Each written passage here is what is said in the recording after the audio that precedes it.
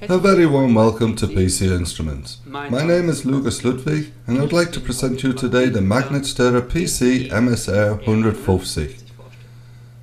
The Magnetstörer PCE-MSR 150 is a motor-driven magnet stirrer, which through its large stirring volume stands out. That is about the amount of water which you can see here to my right. In the delivery we have for one the magnet stirrer, a 25mm stirring rod, as well as a power cable and a user manual. Let's come now to the setting it up. The setup is pretty easy, just put the power cable into the socket on the reverse side. To turn the magnet stirrer on, press the on-off switch on the side of the magnet stirrer. The stirring surface had a stirring area of 115 mm. The stirring volume is 10 liters, which is the amount of the water in these bottles. The stirring speed can be set digitally between 200 revolutions per minute up to 2200 revolutions per minute. For this, simply press the speed button and then with the help of the plus button and the minus button, the possibility in 10 steps this to set. By pressing the button longer allows me a quicker changing of the settings. Behind the pulse button is an impulse function. That means after the set time from me set would be interrupted and then jerky to speed up again.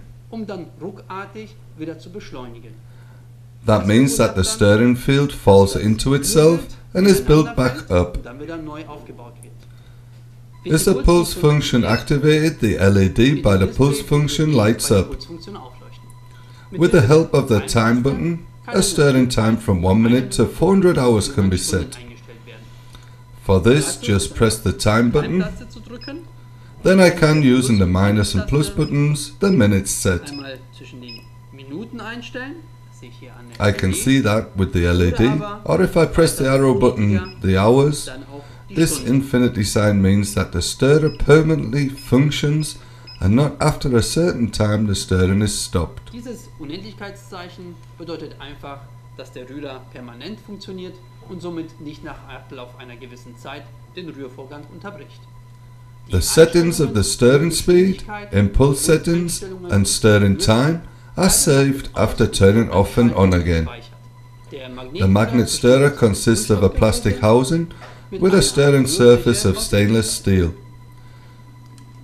The connecting cable has a length of around 1 meter.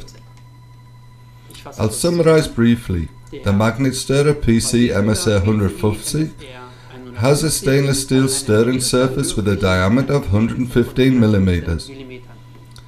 The stirring volume is around 10 liters.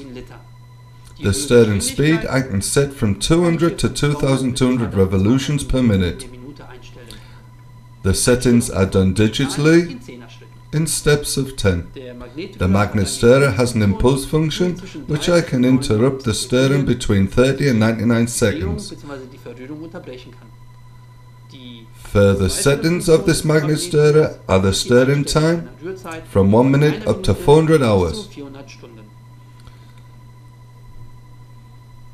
Further technical data as well as optional accessories you can find on our homepage at www.pce-instruments.com